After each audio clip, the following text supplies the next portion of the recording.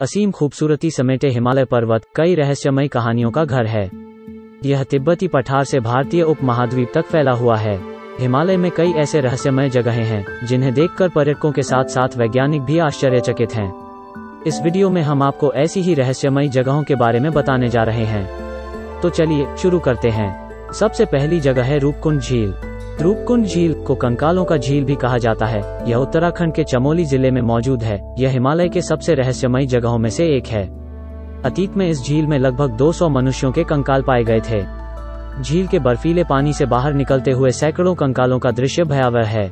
मांस, गहने, बाल और चमड़े के कपड़ों के टुकड़े अभी भी कुछ कंकालों से जुड़े हुए हैं। शोधों के अनुसार पता चलता है कि ये कंकाल हज़ार साल पहले से भी अधिक प्राचीन हैं। आज भी जब झील का पानी पिघलता है तो चारों तरफ़ कंकाल ही कंकाल दिखाई पड़ते हैं। अगली जगह है गंगखा पुनसुम। गंगखा पुनसुम दुनिया भर में सबसे ऊँचे पहाड़ों में से एक है। इस पहाड़ से जुड़ी कई रहस्यमयी कहानियाँ हैं।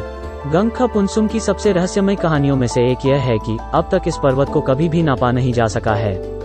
जी हाँ इस पर्वत को आज तक नापा नहीं जा सका क्योंकि जब भी इस पहाड़ को नापा जाता है तो नाप के आंकड़े अलग अलग आते हैं। यह एक ऐसा सबसे ऊँचा पर्वत शिखर है जहाँ अब तक चढ़ा नहीं गया। इस पर्वत का पता लगा पाना भी मुश्किल है। कुछ अभियानों में पर्वतारोही इस पर्वत को खोज सकने में भी असमर्थ रहे। गंगखा पुनसुम भूटान तक फैला हुआ है। भूटान के लोगों का ऐसा मानना है कि यहाँ हिम मानव का निवास है।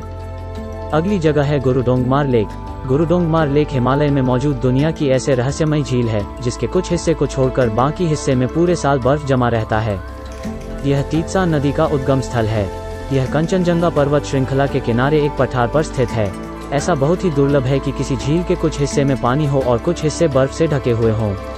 इसके पीछे एक प्रचलित कहानी है कि एक विशिष्ट तपस्वी गुरु तिब्बत की यात्रा पर थे। तभी उनके साथ आए लोगों को प्यास लगी, लेकिन आसपास पानी नहीं था। तब उस विशिष्ट गुरु ने झील के एक हिस्से में अपने हाथों को रखा, जिसके बाद वह हिस्सा पानी में तब्दील हो गया, और बाकी हिस्से बर्फ़ के रूप में जमे रहे। तब से यह झील उस क्षेत्र के स्थानीय लोगों के पीने के पानी का मुख्य स्रोत है। अगली जगह है ज्ञानगंज यह सिद्ध लोगों की अलौकिक दुनिया है। इसे सिद्धाश्रम भी कहा जाता है। यह स्थान एक रहस्यमय आश्रम है। यह हिमालय के गहरे रहस्यमय जगह पर स्थित माना जाता है। यहाँ योगी, महान साधु और सिद्ध रहते हैं। ऋषियों की यह भूमि दिव्य ज्ञान और आध्यात्मिक चेतना का स्थल है। यह इतना गुप्त है कि यह सभी भौगोलिक सर्वेक्षणों से बच गया है। कहानियाँ कहती हैं कि इस स्थान को केवल वे ही पा सकते हैं जो शुद्ध हैं और आध्यात्मिक विकास चाहते हैं। वहाँ रहने वाले योगियों के पास अकल्पनीय शक्तियाँ हैं। अगला स्थान है नंदा देवी। नंदा देवी का अनसुलझा परमाणु रहस्य अपने आप में एक अजूबा है।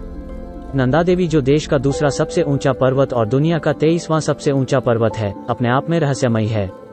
परमाणु संवेदन उपकरण को इसके शिखर पर स्थापित करने का एक मिशन था। इस उपकरण को ले जाने वाली टीम इसे नियत स्थान पर ले जाने में असमर्थ रही।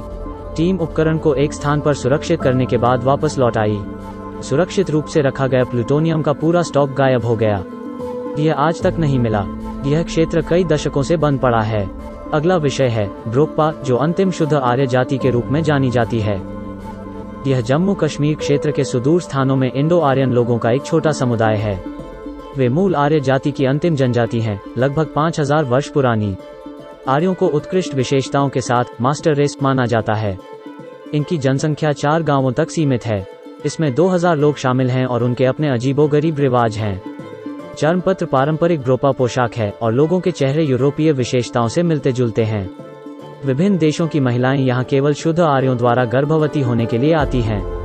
यहाँ खुले सेक्स को बढ़ावा दिया जाता है, क्योंकि चार गाँवों के बाहर किसी को भी शादी करने की इजाज़त नहीं है। यह सांस्कृतिक रूप से अपने जनजाति की रक्षा करने का एक तरीका है। अगली जगह है पारो ताक संघ, द टाइगर्स नेस्ट।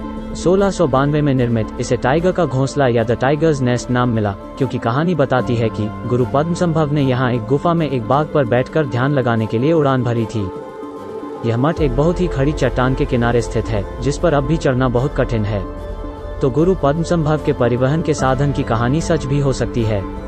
उन्होंने तीन साल, तीन महीने, तीन सप्ताह, तीन दिन और तीन घंटे तक ध्यान किया। यह कुछ ऐसा है जो अपने आप में एक रहस्य है। अगली जगह है ओम पर्वत। इस पर्वत का सबसे आकर्षक रहस्य बर्फ़ का अविश्वसनीय जमाव है। बर्फ़ का यह प्राकृतिक जमाव पहाड़ की काली पृष्ठभूमि के सामने ओम का आभास कराता है। ओम को बहुत पवित्र माना जाता है क्योंकि यह एक बहुत शक्तिशाली आध्यात्मिक ऊर्जा को प्रतिध्वनित करता है। ओम पृथ्वी के कंपन के समान सात दशमलव आठ तीन हर्ट्ज पर कंपन करता है। अगली जगह है कैलाश पर्वत जो पुराणों में बहुत प्रसिद्ध है। समुद्र तल से इक्कीस हज़ार फीट की ऊंचाई पर स्थित कैलाश पर्वत कई रहस्यों का घर है। हिंदू धर्म में कैलाश पर्वत को भगवान शिव का निवास माना जाता है। तिब्बतियों का मानना है कि यह उनके ध्यान देवता डेमचोक का निवास स्थान है, जबकि जैनियों का मानना है कि यह वह स्थान था जहाँ उनके पहले तीर्थंकर ने निर्वाण प्राप्त किया था। ये अलग अलग मान्यताएँ और नज़रिए इसे और रहस्यमय बनाते हैं। जो लोग उस पर चढ़ने की कोशिश कर चुके हैं, उनका कहना है कि पहाड़ अपना स्थान बदलता रहता है। शिखर तक पहुँचने के लिए किए गए हर अभियान ने बताया है कि यह लगातार स्थिति बदलता रहता है। शिखर कभी नहीं मिला, रहस्य यही खत्म नहीं होता। सूर्य के आकार की मानसरोवर झील का रंग तट में नीले से मध्य में पन्ना की तरह हरा हो जाता है। राक्षस ताल नामक निचली झील एक अर्धचंद्र के आकार में है। ये दोनों झीलें क्रमशः सकारात्मक और नकारात्मक ऊर्जाओं का प्रतिनिधित्व करती हैं। कैलाश पर्वत को एक्सिस मुंडी कहा जाता है। भौतिक और आध्यात्मिक दुनिया के बीच संबंध प्रदान करने वाली दुनिया की धुरी। वैज्ञानिक रूप से यह पृथ्वी की धुरी पर है। लोगों का मानना है कि यह सारे जीवन को जीवित रख रहा है और वातावरण को बनाए रख रहा है। यह पृथ्वी के ध्रुवों के साथ तालमेल में है और स्टोनहेंज यूनाइटेड किंगडम के प्राचीन स्मारक से ठीक छह हज़ार छह सौ छियासठ किलोमीटर दूर स्थित है। यही आयाम उत्तरी ध्रुव की ओर जाता है जो कि पर्वत से भी छह हज़ार छह सौ छियासठ किलोमीटर दूर है और दक्षिणी ध्रुव के साथ दूरी बिल्कुल दोगुनी है जो शिखर से ठीक 13,332 किलोमीटर दूर है। अगली जगह है Gomukh mouth of a cow यह हिमालय के सबसे बड़े ग्लेशियरों में से एक है।